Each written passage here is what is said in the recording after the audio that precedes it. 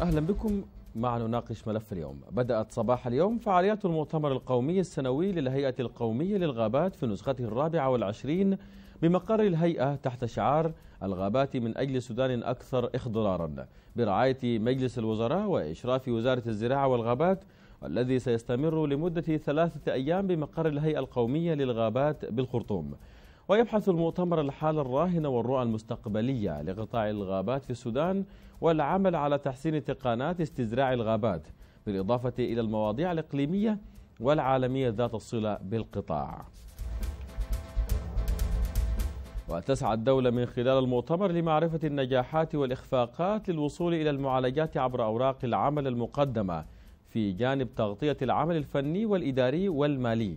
وبحث سبل تعزيز الاستثمار لزيادة إنتاج البلاد من منتجات الثروة الغابية.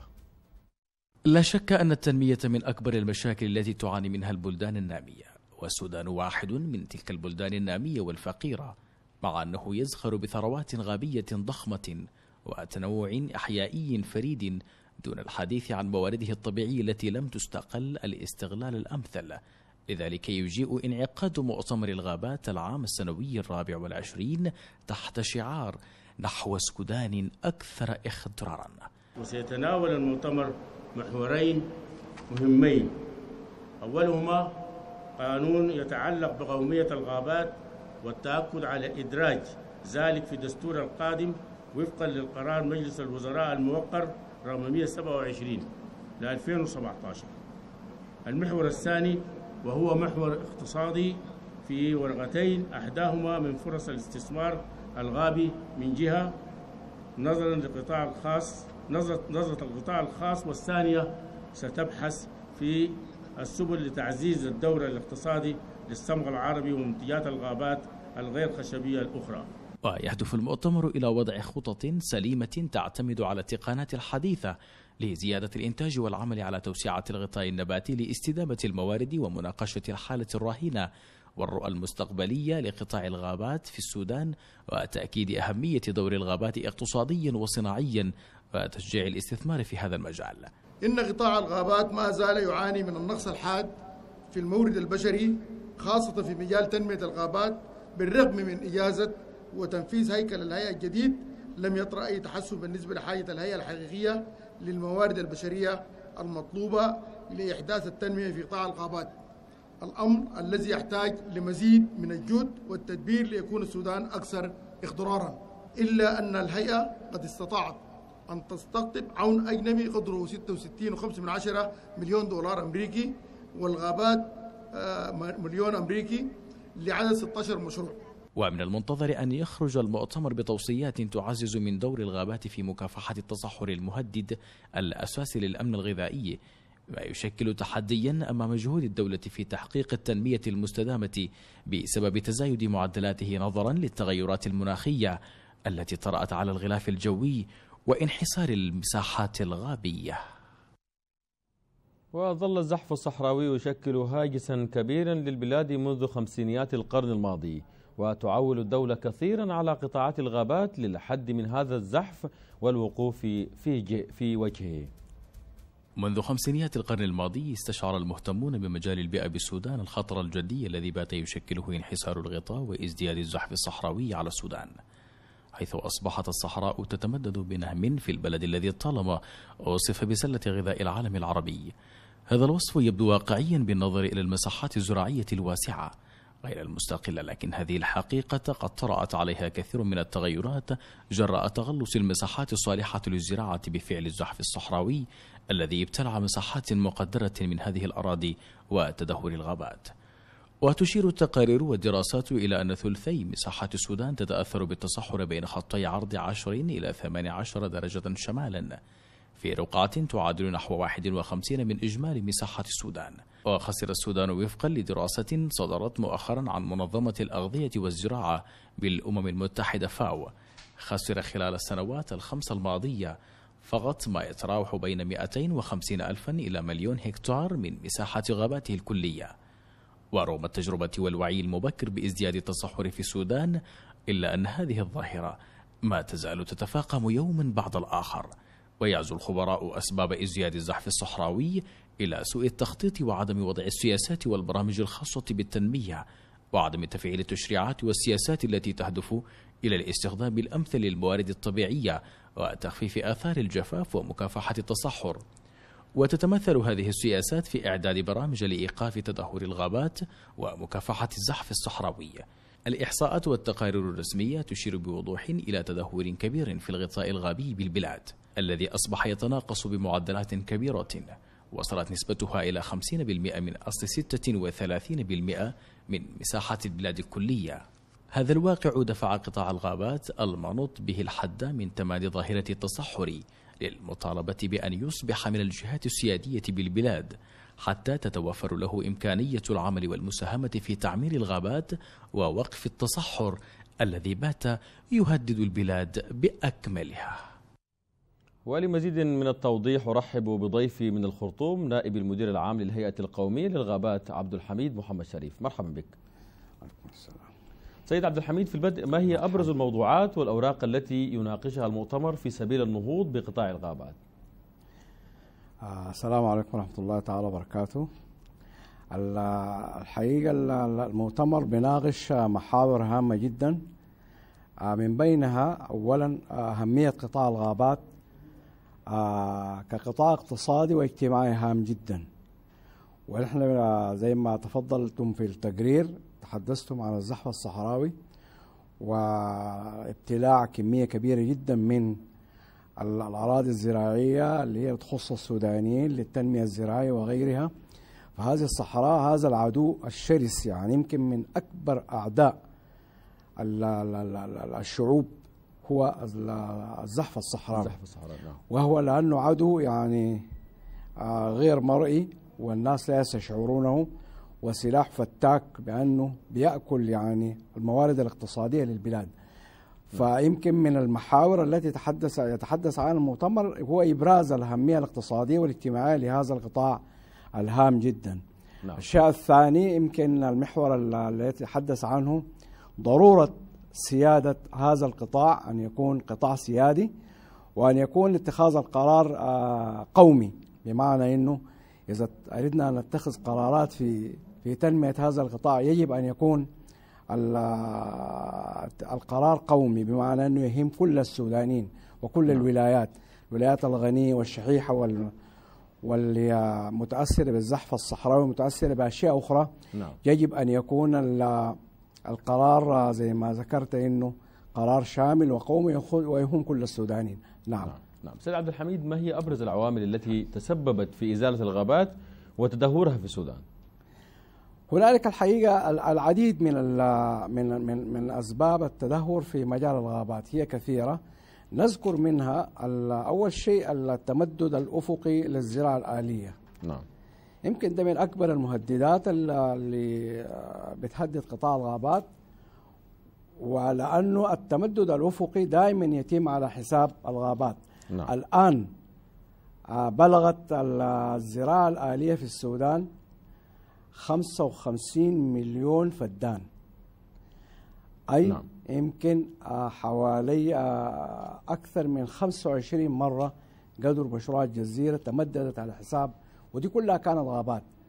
فهذه المساحات يعني آه، التوسع الأفقي هو ضار جدا ونحن نتحدث عن توسع رأسي. فهذا دائما يتم على حساب الغابات.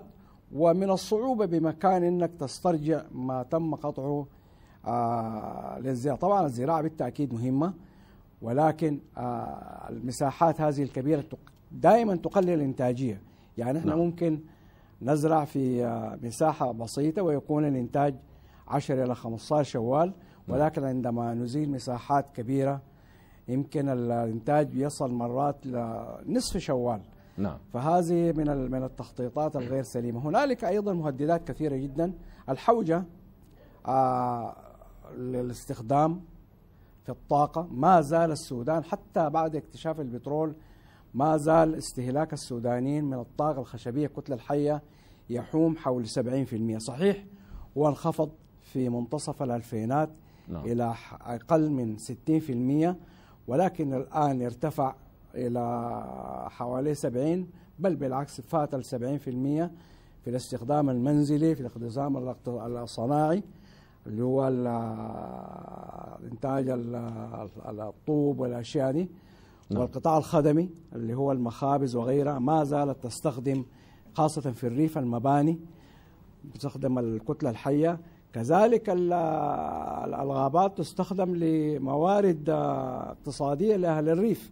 نعم. لأنه الفقر برضه من الدوافع الأساسية اللي بتزيل الغابات نعم. آه هنالك الكثير جدا الرعي عندنا حوالي 104 مليون رأس من الثروة الحيوانية ما عندها أي منطقة طلع فيها غير الغابات نعم. وهنالك أيضا آه، مشاكل اقتصادية واجتماعية متعقدة فيما بينها نعم. نعم. نعم. سيد عبد الحميد فيما يتعلق بالتمدد آه، في المساحات الزراعية كونك تتحدث عن 55 مليون بعض المؤسسات وبعض الولايات تسعى لتوسيع رقعة المناطق المزروعة حتى آه، تستفيد من من هذه المناطق الزراعية والاستفادة من المحاصيل الزراعية. هل نعتبر أن هذا عدم تنسيق بين المؤسسات المختلفة في هذا الشأن أو في هذا الاتجاه؟ نعم. نحن نقول آه، بملء ألفم يعني هنالك آه، عدم تنسيق لا يوجد تنسيق بين بين القطاعات المختلفة ليس في الغابات فقط ولكن نعم. مستخدمي الأرض ومستخدمي الموارد الطبيعية في السودان نعم. لا بد أن يكون هنالك تنسيق في استخدام هذه الموارد نعم. وإذا لم يكن هنالك تنسيق يكون هنالك تقاطعات وهذه التقاطعات أحيانا تكون مضرة جدا نعم فصحيح نحن ممكن إذا كان في تنسيق يمكن أن تكون هنالك تنمية زراعية آه تنمية في مختلف المجالات ويكون نعم. هنالك غابات وأنا يسرني أنه أذكر في هذا المجال بكل الفخر والاعتزاز يعني ما تم في منطقة آه، البترول نعم يعني هنالك مشروع رائد جدا جدا في منطقة البترول برعاية شركتي اللي هي النيل الكبرى وبترو إنرجي اللي هم المناطق اللي تأثرت بالتع... باستخراج البترول نعم. هنالك الهيئة القومية للغابات تقوم بتنفيذ برنامج رائد جدا أول حاجة لاستزراع المساحات التي أزيلت الشيء الثاني لمعالجة المياه اللي بتطلع من البترول ويمكن هذا من المشاريع الناجحة جدا جدا ويمكن ناجح ليس في السودان فقط وإنما في عدد من الدول في في غرب أفريقيا وفي وسط أفريقيا طلبوا إنه يكرروا هذه التجربة اللي هي بيسموه مشروع لعالج الاحيائيه نعم. للمياه المستخرجة من البترول وكذلك تعمير مناطق البترول نعم. اذا نخلص لأنه التنسيق واجب ولا بد منه نعم. لاستخدام الموارد الطبيعية وعدم الإضرار بموارد البلاد يعني نعم. نعم. مسألة التنسيق هذه ترجع ربما لجانب السياسات أما في جانب البحث العلمي أين وصلت جهودكم في تفعيل برامج بحوث الغابات المواكبة أو لمواكبة التطورات المعاصرة وإعادة بناء وتعمير الغابات نعم البحوث في مجال الغابات موجودة نعم. هنالك إرث قديم خالص أيضا بحوث الغابات من المؤسسات القديمة جدا في السودان. وهي أصلا بدأت كجزء من إدارة الغابات. كانت نعم. تابعة لإدارة الغابات. الغابات كانت مكونة من ثلاث أقسام. نعم. اللي هي الغابات إدارة الغابات على مستوى السودان. نعم. وكذلك التعليم اللي هو كان مدرسة خبراء الغابات. وكذلك الأبحاث. دي كلهم كان في حتة واحدة. نعم. آه لذلك في إرث قديم جدا.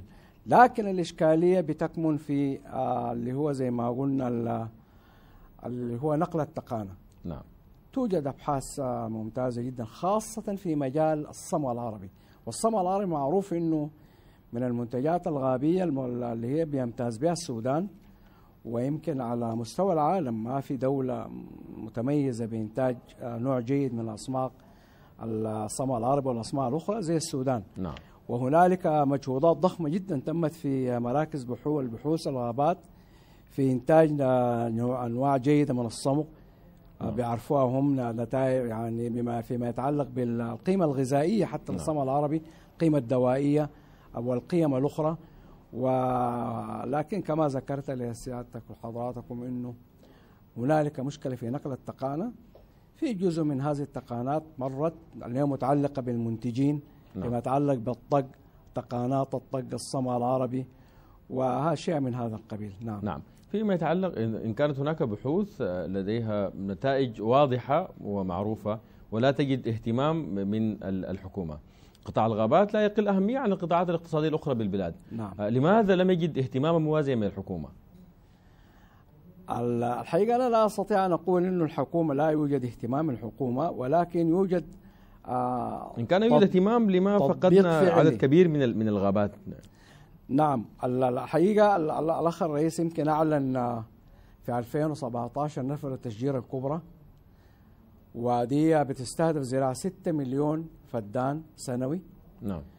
آه هنالك عدد من القرارات صدرت حتى يمكن قومية نحن بنقول قومية القرار فيما نعم. يتعلق بالغابات والموارد الطبيعية اللي هي القرار 127 نعم. يعني يمكن أكد على قومية القرار في مجال الغابات وقرار وهنالك أيضا قرار نفس القرار تضمن بدائل الطاقة وهنالك عدد من القرارات لكن أخي الكريم هنالك إشكالية في تطبيق هذه القرارات خاصة الجانب المالي وإحنا نذكر هذا الكلام إنه في في في في في في في الجانب المالي في مجال التنمية صحيح يمكن البلد مر ببعض الأزمات لكن برضو القطاع قطاع الغابات من القطاع الهامة جدا والسيادية نعم. نعم. زي ما قلنا هو من القطاعات اللي بتشكل الأمن الغذائي للبلاد نعم. فنتمنى انه يعني هذه القرارات تنال حظها من التنفيذ الفعلي والهيئه نعم. القوميه للغابات على استعداد الهيئه القوميه للغابات الان تنفذ من خلال مواردها نعم. الذاتيه ويمكن المستوى الاستزراع عندنا وصل إلى حوالي مليون وثلاثة من عشرة فدان. نعم. المساحة دي مساحة ليست ضعيفة بالمقارنة مع بالمقارنة مع إمكانات الهيئة ولكنها لا تساوي فقط هي تساوي المقطوع سنويا. المقطوع سنويا حسب آخر الإحصاءات حوالي 900 ألف فدان. نعم. ونحن الآن بنزرع حوالي 1 واحد وثلاثة من عشرة أي بمعنى أنه بنزرع ما نقطعه وهذا لا يلبي طموحات البلاد ولا يلبي ولا يعني يؤمن الدولة نحو من نعم. الزحف نعم. الصحراوي والأمن الغذائي وهكذا نعم. نعم. فيما يتعلق سيد عبد الحميد بهذه الغابات الصمغ العربي ثروة مهملة ما الذي أدى لإهماله وما هي الخطط التي وضعت من أجل الالتفاف لهذا الكنز القومي الصمغ العربي الحقيقة هو هو ما, ما مهمل لكن الصمغ العربي يفرض نفسه على العالم بالمناسبة نعم.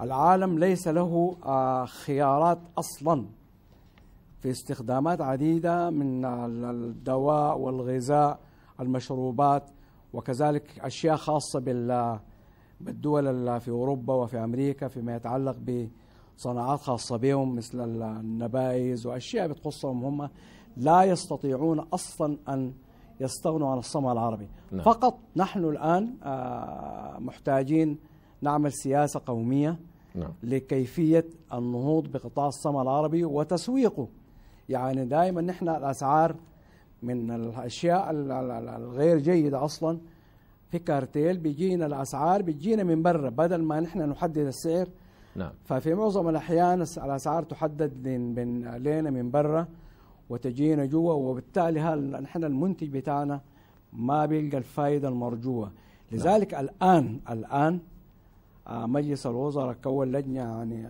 قومية ويمكن دلوقتي لها أكثر من شهر على وشك إنها تنتهي من عمل استراتيجية قومية للنهوض بقطاع العربي في كل جوانبه ومع استصحاب كل الشركاء نعم وإن شاء الله في القريب العاجل يعني يمكن الصومال العربي من من من القطاعات الآن بتحظى باهتمام كبير جدا ويمكن الإنتاج آه، نهض آه، درجة كبيرة لأنه زي ما ذكرت في بداية حديثي لا يوجد بديل له على مستوى العالم، العالم ما عنده ما عنده غيره، ما نعم. عنده بدائل أصلا. نعم. نعم إن كان هذا الاهتمام الذي تحدثت عنه نجد أن الفاقد فيما يتعلق ب الغابات كبير جدا وهناك مشاكل تحدثنا من ضمنها المشاكل المالية. ونحن نعلم استقطبت الهيئة مبلغ 66 مليون و500 ألف دولار لعدد 16 مشروع حسب إفادة السيد الوزير نعم. أو وزير الزراعة والغابات. ما هي هذه المشاريع وما الذي عاد منها للقطاع الغابي وللبلاد آه صحيح. يمكن ليس في السودان فحسب وإنما في عدد من الدول النامية نعم. خاصة الدول الأفريقية ويمكن دول آسيوية. وعدد من الدول دائما في مجال البيئة المكون الأجنبي أو الدعم الأجنبي بيشكل آه، من حوالي 30 إلى 40% من الأنشطة الخاصة بالبلد. نعم. نحن في السودان بنفتكر أنه إلى وقت قريب الدعم الأجنبي كان لا يتعدى 9% نعم. طبعا دي بأسباب معروفة يمكن آه، الحصار اللي كان مفروض على السودان وأشياء كثيرة جدا. آه، لكن الآن حصل انفراج. يمكن الأخ الوزير تحدث عن 16 مشروع على مدى فترة زمنية يمكن طويلة لورا. لكن الآن آه، في السنتين الماضيتين حصل انفراج ممتاز فيما يتعلق ب استقطاب الدعم الأجنبي آه، خاصة في مجال الصمغ العربي في مجال التنمية الريفية.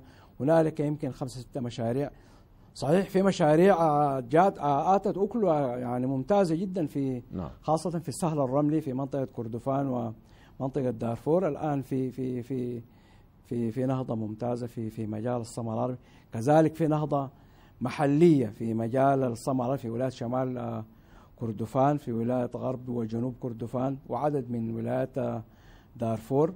يمكن الحكومات ذاتها بدأت تنهض بالقطاع.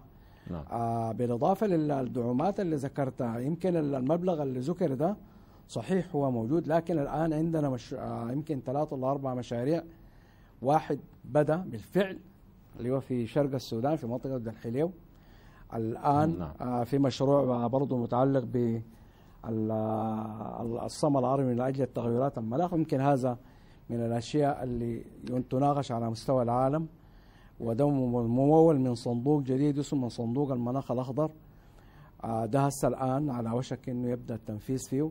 وهنالك مشروع سلسلة القيمة فيما يتعلق بالصمم العربي تسويق. وهنالك هيكل الصمم العربي في عدد من المشاريع يعني جاءت بنتائج ممتازة جدا خاصة في مجال التسويق في مجال التنمية. ولكن كما ذكرت ما زال هذا القطاع يحتاج إلى أضعاف أضعاف ما يقدم الآن سواء نعم. كان من الدعم نعم. الأجنبي سواء كان من الدعم المحلي سواء كان نعم. من قبل الهيئة القومية للغابات نحتاج إلى كثير نعم. لأنه العالم محتاج زي ما ذكرت ب لكميات نعم. كبيرة جدا سيد عبد الحميد نعم. الأخير الزمن يضايقنا ما هي النظرة المستقبلية لاستدامة قطاع الغابات وما هي فرص الاستثمار في هذا القطاع النظرة المستقبلية اولا هو دخول القطاع الخاص في نعم. في في في في تنمية الغابات نعم. دخول القطاع الخاص ليس في مجال التجارة فقط وإنما في مجال من الزراعة إلى